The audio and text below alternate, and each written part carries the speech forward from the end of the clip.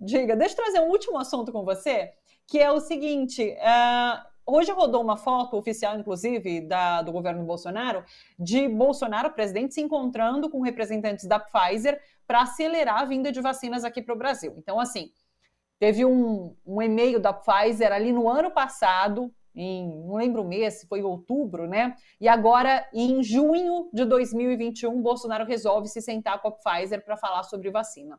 E daí ele está divulgando isso. Eu acredito que por conta da CPI da Covid, que tem trazido à tona todas esses, essas informações em relação a essa falta de negociação ali no passado, e por outro lado, há uma discussão muito interessante nas redes sociais, Silvio, de governadores, de prefeitos, sobre é, a vacinação, sobre calendário de vacinação. Não sei se você viu nas redes essa brincadeirinha que está acontecendo, né, de João Dória falando: olha, aqui a gente está vacinando. Daí veio o Eduardo Paes ali do Rio de Janeiro falou: não, a gente está correndo atrás aqui também. Flávio Dino, ah, a gente está fazendo até maratona de vacinação. Agora, Eduardo Leite, no Rio Grande do Sul, também falou assim: olha, aqui a gente também está correndo. E, e, me lembra muito uma frase que o professor Legene Mirrão usou aqui na quarta com a gente, dizendo que a CPI da Covid é, seria a materialização dessa frente ampla. Você acha que, de alguma forma, também esses governadores, prefeito ali, Eduardo Paes, quando se conversam dessa maneira democrática, em termos democráticos, prezando pela vida, pela vacina, com esse discurso a favor de, de conter a pandemia, é, é, é a democracia se mostrando? É o que deveria ser o tempo todo? É uma improvisação frente a, uma, a um governo autoritário, centralista, irresponsável do ponto de vista social, criminoso e genocida. Né? Então, juntando tudo isso, para ser contra isso, é só você, você não precisa ter muita diferença em termos de cores políticas.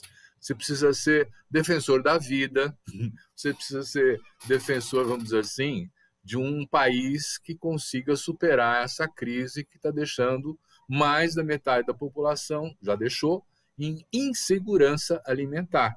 Né?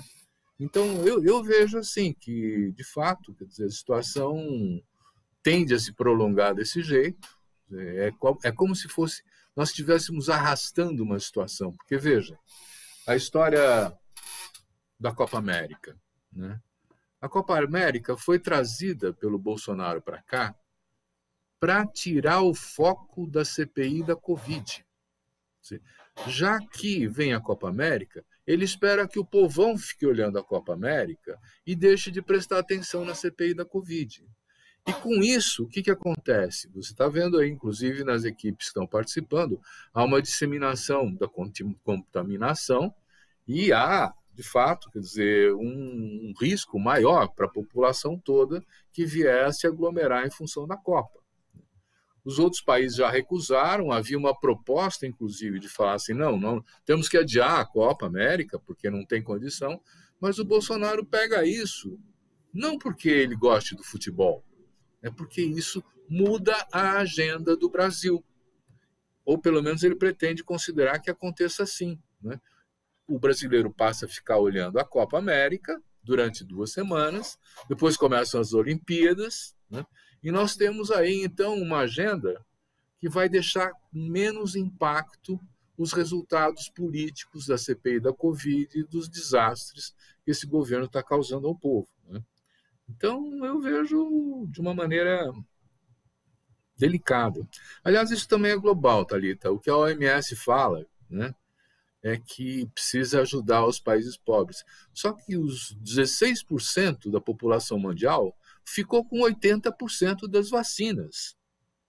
Quer dizer, os países ricos compraram tudo para eles e deixaram o resto a ver navios. Né? O atraso da Janssen deve ser isso também, né? que tem aquela proposta toda. Agora, quando os governadores começam a falar o Dória, por exemplo, olha, a vacinação, a tabela de vacinação adiantou um mês, não sei o quê, agora isso, aquilo, mas estamos dependendo do Ministério da Saúde liberar as vacinas, ele joga, primeiro, a sua popularidade dizendo, aqui vai ser vacinado, né? e joga o desgaste no governo federal, dizendo, se vocês não derem a vacina, né, a culpa é de vocês, a população vai saber. Né? Então, há uma coalizão de governadores e prefeitos que é importantíssima hoje em dia, que tem várias cores políticas, não é só um partido, são, é um amplo leque, que está defendendo a população dos seus estados contra a Covid. Prefeitos também fazem isso, mesmo às vezes com uma pressão muito forte do comércio, dos negócios, que exigem que a prefeitura não feche isso. Né? Acontece que a pandemia, desse jeito que nós estamos nos comportando, ela vai se prolongando e ela vai matando mais gente. Não há como evitar isso se não for pela via do isolamento e da vacina. A vacina não chega, o isolamento também não é feito. O que, que acontece? Nós continuamos acumulando uma média agora de 1.950 mortos por dia na última semana. Estamos chegando a meio milhão de, de mortos. E isso para não falar das sequelas que os, 16, que os mais de 16 milhões de brasileiros que já tiveram Covid vão enfrentar ou agora ou num futuro próximo. Então, Sim. é mais do que a hora de responsabilizar quem está sendo, praticando esses crimes e de tentar, de alguma maneira, criar um plano de alternativo para que esse governo não continue fazendo todo o desastre que está promovendo.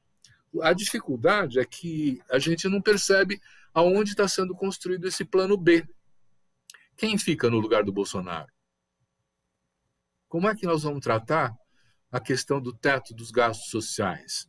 Nós temos que acabar com isso, porque as universidades federais, por exemplo, estão parando, porque não têm recursos, por conta desse limite do teto dos gastos sociais. E, enquanto isso, o governo cria o seu orçamento paralelo para garantir a maioria no Congresso para não ser preso. Né? Então, é uma situação muito delicada. Perfeito. Vamos finalizar chamando todo mundo para acompanhar hoje às nove e meia o programa Le Monde Diplomatique Brasil aqui na TVT com o tema Pandemia, Crises e Capitalismo. Conta um pouquinho para a gente, Silvio. Então, dizer, nós temos um, um, um modelo de desenvolvimento que é chamado de capitalismo, que prega incessante crescimento, tem que crescer, crescer, crescer, tem que lucrar, lucrar, lucrar, tem que ficar maior, maior, maior, e isso destrói toda a natureza. E isso libera os vírus que estavam retidos na natureza, isso vai gerando crises. Né? Não é a primeira, nós já tivemos o ébola, nós já tivemos a crise suína, a crise uh, aviária, dizer, nós tivemos a gripe H1N1, né? Quer dizer, essas pandemias, se o capitalismo continuar operando dessa maneira, vão continuar. E a gente está nesse programa com especialistas, aprofundando essa reflexão para fazer, bom, se continuar, o que, que vai acontecer conosco? E como é que a gente pode evitar que continue? Assista. Nove e meia da noite, todos convidados, então, a acompanhar Le Monde Diplomatique Brasil com mediação do Silvio Catiabava. Silvio, muito obrigada, sempre muito bom conversar com você, viu? Um beijo grande até semana que vem. Prazer estar aqui, Thalita. Um beijo para você também. Até semana.